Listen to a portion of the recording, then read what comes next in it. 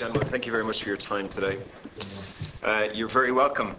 Um, I would like to start. We'll get into the detail of some of the um, some of the restructures, but I, I would just like to recognise the uh, improvement in the underlying performance of the bank. Obviously, taking over permanent TSB in the state it was in is a very difficult job. So I just want to recognise there are some very um, uh, welcome figures coming through at a macro level on the performance of the bank. Thank you. Can I talk about, I'd like to talk about the, um, the legal proceedings. Can I ask, does the bank have an estimate? I know various figures have been bandied around the committee room today. Does Permanent TSB have an estimate for the likely number of repossessions that are going to occur through this process?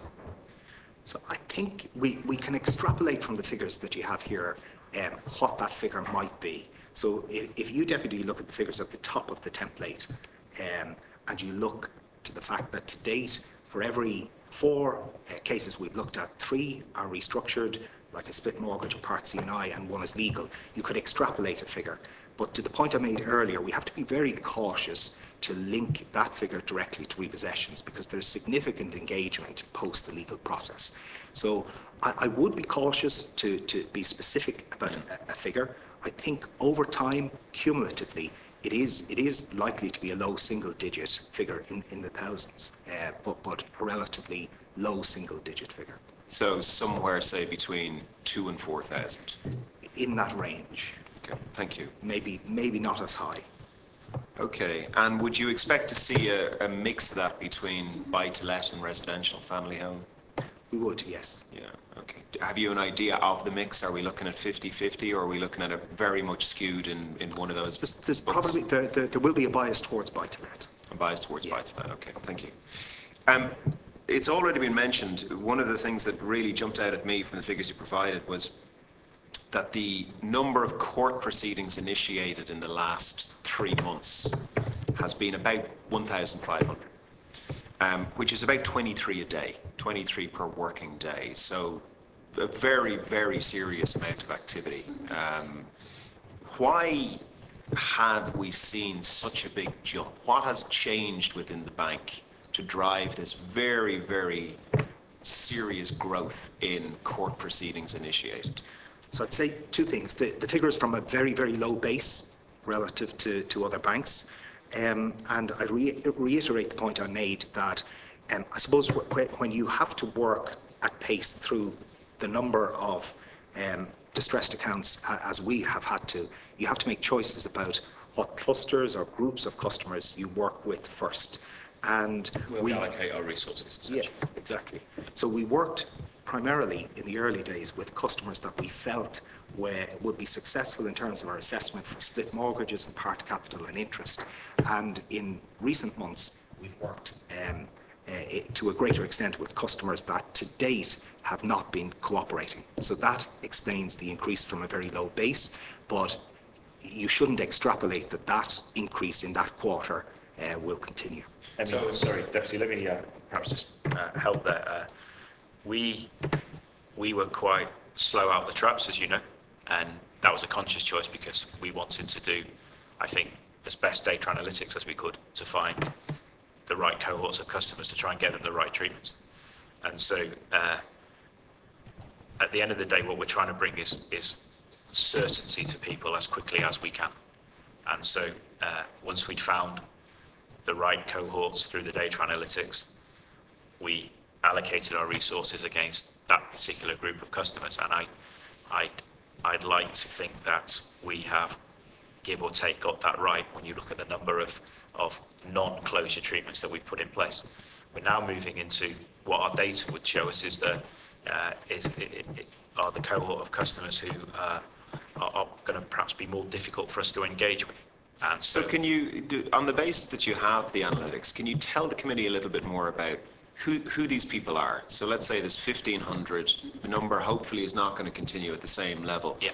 Are these um, people who are refusing to cooperate, who are refusing to engage, are they people who actually are engaging but they simply don't have the money to pay the mortgage? Can you just t- tell us about who these people are now that you've, you've done the analysis to find them? Yeah. So, so it's a combination of, of, of all of those categories. It's people who will not answer the phone, or who will not answer the door, or who will not engage in any way. It's people who will make commitments to come to our branch to complete an SFS form, who uh, will agree the appointment day and date and time, uh, and subsequently won't turn up. Um, it's people who will come to the branch and do all of that and make a commitment to provide the supporting documentation who subsequently won't. Um, and it's people beyond that point who will make a commitment to contribute to their debt, but the level of contribution will be very low or not maintained. So generally, that, that, is, um, that is the journey of the, the non-cooperating customer. Uh, pe- people sometimes think that it, it simply means refusal to, to discuss or talk, but, but it's a little more than that. I think the point of principle is that uh, we, we think we have a, a treatment tree uh, that, that follows a, a logic and that uh, we are happy to, en- to talk with any customer at any point in time if they'll engage with us to try and get them in a treatment here because that's, that's the right thing for everybody. Okay. Anyone who's down in a closure, sadly, we think we could look you in the eye this morning and say that uh, it, it's not through us just sending out mass legal letters. It's, it's us having followed a process. And sadly, the numbers are the numbers. Well, on that then, I would very much like to echo what the chairman said earlier on around the residual debt. So I don't have a problem with people who are refusing to engage with the bank having legal proceedings initiated against them. If you've made every reasonable effort and they refuse to engage with you, well then so be it. Um, however, sadly, there are many families out there who I'm sure are engaging and simply through unemployment or through pay cuts or whatever it is, they no longer have the money to service uh, the mortgage and maybe the split doesn't work and maybe inevitably there's simply no remedial action that can be taken. Um, what I was very disappointed to hear was that there isn't a policy in place for the residual debt. And I think, Mr. Masding, the, the phrase you used was, we don't go after all of the debt all of the time. That's no use to a family who's trying to resuscitate themselves financially, right?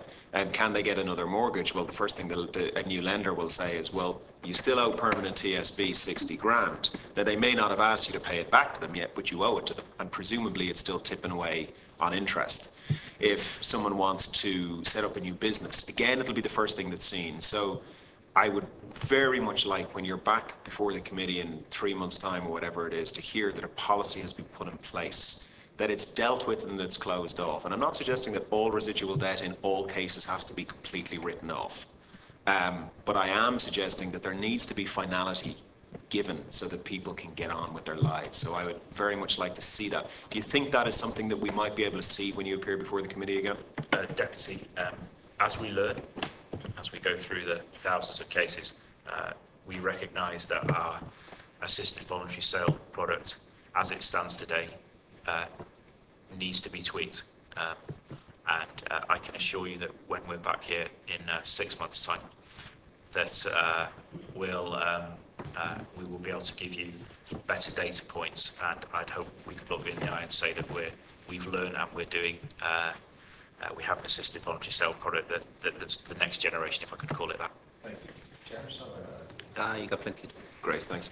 Um, Can I ask, one of the uh, complaints that we heard, we had the mortgage holder support groups in, FLAC, MABS, Mortgage Holders, Phoenix Project, New Beginning, etc., last week. And one of the things we heard consistently was that mortgage holders, when they're made an offer, it- they are not, in most cases, being offered choices, and they're not being offered an explanation as to why a particular offer is being made. Can I ask what the case for permanent TSB is? So specifically two questions. Is it the case that you write to somebody and say, the offer we are making to you, for example, is a split mortgage with 20% on the shelf, come and talk to us? Or do you write and say, look, actually, we think a reduced interest payment or a split might work. Here are the advantages and disadvantages of both. Here's why we are offering you these. Uh, come and talk to us. So in terms of the customer treatments, we recommend one treatment and we provide significant detail on that treatment. So let's say, for example, the split mortgage. We then outline the other treatments that we considered but were discounted. Sorry, Mr. Can I just check? So I, I know there's a lot of detail provided, but the detail I tend to see is detail, technical detail about the offer. Is there included in that detail an explanation for why, in your case, a split mortgage has been provided? There there is, um, but, but as I say, the focus is on the recommendation, which in this example is split mortgage, um, and we refer in passing to the other um, options that we considered but did not recommend. Secondly, um, once that letter is then posted, we have a team of customer care staff, 35 staff, um, who follow up all those letters and speak to the customer um, post receipt of the documentation to ensure that they receive the documentation and that they understand the detail and they can answer one to one by phone any queries that the customer may have.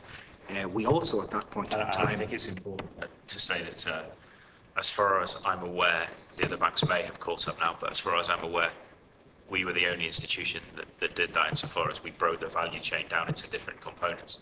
And uh, the customer care team, certainly from my experience of doing this in other jurisdictions, is, is a very important part because um, obviously one needs a letter for an audit trail, but a letter must be complemented by uh, a human interaction. And uh, uh, that's why we built the team. Agreed. I- I'd add one final point that's important. We also will contribute 250 euro to each customer who has received one of these long-term offers from us to go meet an independent advisor to take advice, um, independent of our customer care team or um, our management team in terms of the offer and the alternatives. Thank you. Um, I, one of the offerings, I want to bring two things together. One which the chairman has touched on, which is what happens at retirement. So the split mortgage I accept can work. I accept there is a real hit taken by the bank and there's a real financial gain to the, to, to the borrower. Where it falls down is what happens on retirement. Right?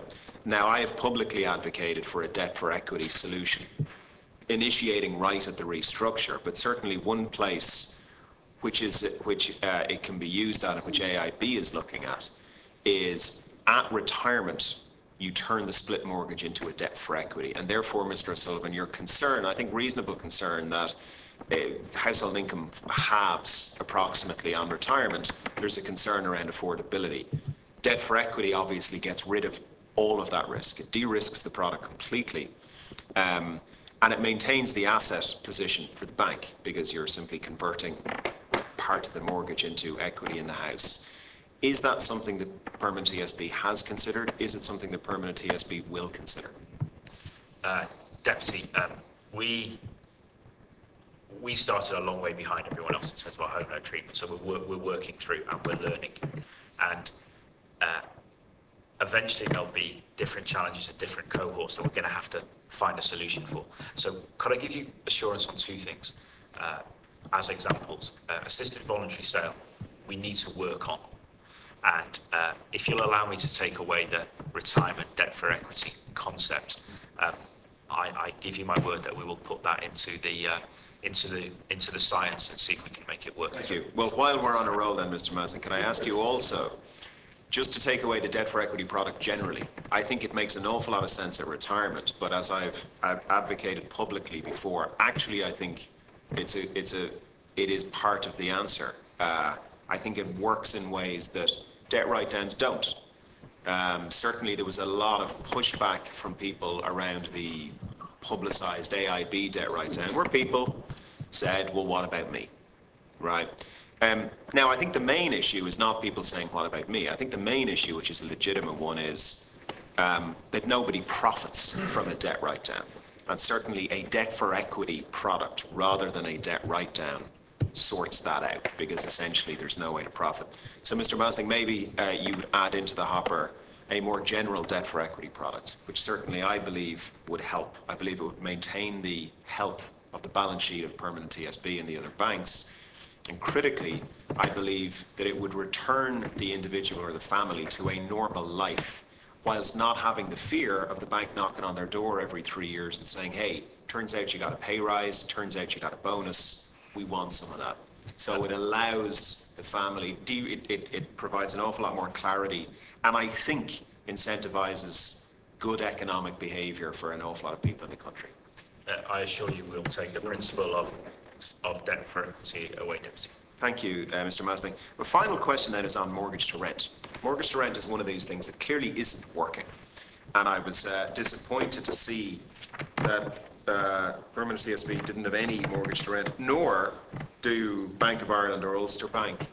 Um, Now, Mr. O'Sullivan, you mentioned earlier on that clearly the levels are wrong uh, for Dublin, but uh, there's got to be more to it than that. Now, I'm aware, and I'm not going to get into the specifics of the case, but I, I'm aware of a case Permanent TSB did get right to the end of on mortgage to rent, and it was agreed with one of the housing authorities, and at the end there was a dispute on the sales price, and Permanent TSB, which is their right, walked away and said, no, we're not selling it for that amount.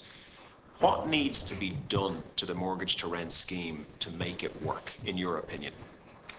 So I think a couple of things. I think the, the process is unnecessarily cumbersome. So a, a lean Six Sigma, if you're familiar with the, the concept type uh, exercise, needs to be uh, completed so that all these double touch points and this lack of joined up thinking is, is reviewed and improved. Um, at the core, though, is, is the issue that you mentioned around valuations.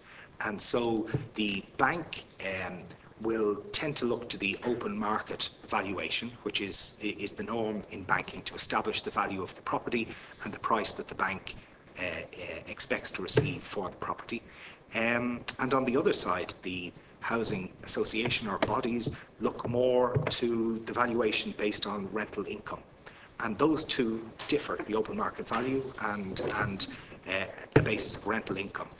And it's that delta or gap that causes a problem because it usually means that the bank will receive less than it might have anticipated for the property. And as a consequence, that means that the subsequent shortfall for the borrower, if one arises, um, is larger. And um, that also brings brings up a, a, point that the banks need to consider in terms of the shortfall. So, so there are a number of issues. You, you need a lot of uh, ducks to be lined up to enable you to get MTR uh, case across the line. And that is unfortunate because I do feel that it is a proposition that has value. And we, we have a pipeline of 100, 150 customers that we think are appropriate for this solution. And they're happy, uh, by and large, not all, but, but are happy by and large that this, this would be the sustainable solution for them. Um, but, but it's difficult to get there. Everyone is trying their best, by the way. I'm not in any way um, saying otherwise, but I think we just need to, to, to work collaboratively with different parts of the, the system. I, I think you hit the nail on the head insofar as there's probably two questions. I- i- Is it a product that broadly we'd like on the shelf? The answer is yes. Is it a product that we can make work unilaterally? No. And it's probably a system or a policy question where we just need some help to, to make it work.